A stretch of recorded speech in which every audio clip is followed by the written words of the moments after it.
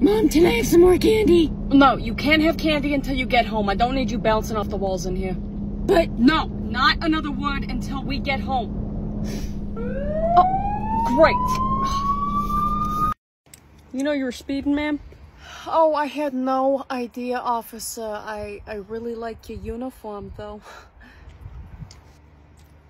My husband likes it, too. Damn it. License and registration. I'll look for it. Mm-hmm. Hey there, little missy.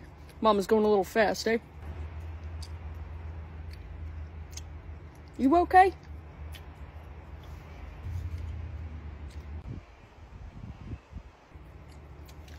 She said I'm not allowed to speak. What? Not until we get home. And then she promised me candy. She's what? Ma'am, step out of the vehicle. What? Why? Step out. Okay, what I do? Listen, officer, we could talk about this, okay? You know what? You know what? I got a twin sister. She might have done something, but it, it wasn't me. I swear to God. No.